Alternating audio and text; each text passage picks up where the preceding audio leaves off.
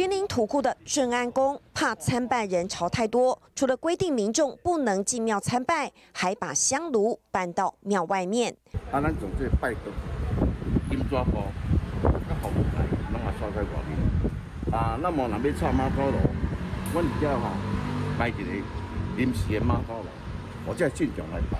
保持安全礼仪，安全距离。香火鼎盛的南投紫南宫庙方也祭出防疫措施，庙门口拉起红龙，志工全程广播，民众必须依照动线右进左出，而且庙里面最多不能超过三个人。我们就是照政府规定，我就跨多少时间当三个进来，啊，所以我今摆三个要拜完嘛，啊，就啊，第二就我们进出啊，我都不退。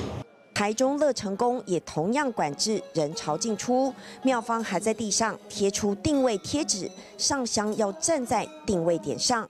庙方也有人在指导说，就是要站站在那个安全距离的里面，所以其实基本上会比较安心。